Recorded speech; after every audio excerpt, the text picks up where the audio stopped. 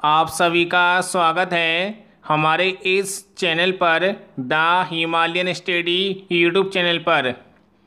Japan में एक शक्तिशाली तूफ़ान आया है और इस शक्तिशाली तूफ़ान का नाम क्या है? इसलिए आप लोग इस वीडियो को पूरा ज़रूर देखें और आप लोग हमारे इस चैनल को लाइक करें, शेयर करें और सब्सक्राइब करना ना भूलें। तो देखिए, ये जानकारी हमें मिली है हिंदुस्तान समाचार पत्र के माध्यम से। तो देखिए, इसमें लिखा है कि जापान में प्रचंड तूफ़ान से विमान और ट्रेन सेवाएँ हुई बाधित। यानी कि बहुत ही ज़बरदस्त तरीके से तूफ़ान आया है जापान में। और ये डेट आपके सामने लिखी है, एक अक्टूबर 2021 को ये आपका तूफ़ान जापान में आया है। और इसी वीडियो में आपको बताया जाएगा उस तूफ़ान का नाम क्या है, जो कि प्रतियोगी परीक्षा की दृष्टि से काफ़ी महत्वपूर्ण पॉइंट है। और आप लोग हमारे इस चैनल को लाइक करना ना भूलें। तो देखिए, महत्वपूर्ण सूचना उन अभ्यर्थियों के लिए है, जो लोग तैयारी कर रहे हैं प्रतियोगी परीक्षा के लिए।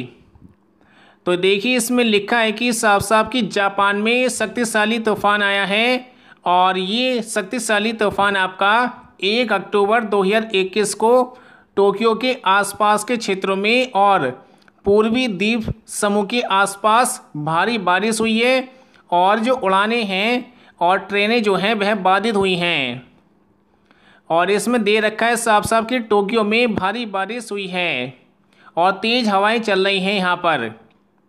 लेकिन इसमें लिखा है कि किसी के हताहत होने की कोई भी खबर नहीं है, क्योंकि एनडीआरएफ की जो टीमें यहाँ पे होती हैं, जिस प्रकार भारत में एनडीआरएफ की टीमें होती हैं, इसी प्रकार यहाँ की टीम यहाँ पर पहुँच चुकी थी पहले ही, और यहाँ पर जो है पूरा इलाका खाली करा लिया गया था। इसलिए यहाँ पर जो है कोई ज़्यादा जो है नुकसान नहीं हो पाया है। और इसके बाद हम देखते हैं आगे तो देखिए, इसमें लिखा है कि जापान मौसम विज्ञान एजेंसी ने कहा है कि प्रचंड तूफ़ान। ये आपके सामने जो नाम लिखा है, ये वेरी वेरी मोस्टमेंट पॉइंट है आपके लिए। इसका नाम लिखा है मिंडोले।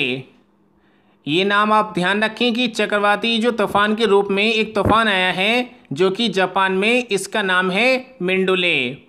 और इस मिंडोले तूफ़ान ने टोक्यो के दक्षिणी तट के पास, यानी कि इजू द्वीप पर, यानी कि इसने जो है पूरी तबाही मचाई है। और यहाँ पर जो है पैंतीस किलोमीटर प्रति घंटे की रफ्तार से उत्तर पूरब की तरफ़ ये बढ़ा है। और इसमें काफ़ी तेज़ गति से हवाएँ चली हैं, जैसे कि इसमें दे रखा है। और ये लिखा है कि एक सौ पैंसठ किलोमीटर प्रति घंटे की गति से हवा चल रही है।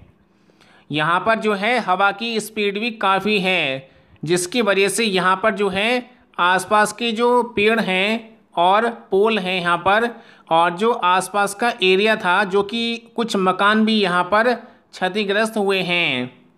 काफ़ी भयानक मंजर यहाँ पर देखने को मिला है, क्योंकि एक सौ बासठ किलोमीटर प्रति घंटे की रफ्तार से हवाएँ चल रही हैं। और इसके बाद हम देखते हैं आगे तो देखिए इसमें लिखा है कि चिवा और टोक्यो के पूर्व के अन्य प्रांतों में कुछ स्थानीय ट्रेन सेवाओं को शुक्रवार को अस्थायी रूप से रोक दिया गया था। क्योंकि जब ये जानकारी मिल चुकी थी कि यहाँ पर जो है तूफ़ान आने वाला है तो पहले ही यहाँ पर जो है स्थानीय ट्रेनों को, सेवाओं को जो है यहाँ पर रोक दिया गया था। और इसमें लिखा है कि टोक्यो के होनेडा, हवाई अड्डे और बाहरी द्वीपों को जोड़ने वाली कई उड़ानें और आपके नौकाओं को भी रद्द कर दिया गया था। और यहाँ पे लिखा है कि मुख्य कैबिनेट सचिव कांसो नोबू कार्टो ने बताया है कि अभी तक किसी के हतायत होने का कोई भी यहाँ पर, यानी कि कोई भी जो है, जानकारी नहीं हो पाई है। और ना ही कोई घायल होने की कोई खबर है, क्योंकि आप लोग जानते हैं, पहले यहाँ पर टीम पहुँच गई थी, जिससे यहाँ पर स्थानीय निवासियों को यहाँ से अलग जगह पर भेज दिया गया था। तो ये महत्वपूर्ण न्यूज़ थी उन अभ्यर्थियों के लिए जो लोग तैयारी कर रहे हैं प्रतियोगी परीक्षा के लिए। चाहे आपका यूपीएससी हो या फिर पीसीएस की दृष्टि से ये आपका वीडियो काफ़ी महत्वपूर्ण है। तो ये वीडियो आपको कैसे लगा आप लोग हमें कमेंट बॉक्स में ज़रूर बताएँ। जिससे कि हम आगे भी इसी प्रकार की नई नई अपडेट आपको इसी चैनल के माध्यम से, वीडियो के माध्यम से प्रोवाइड कराते रहेंगे। धन्यवाद।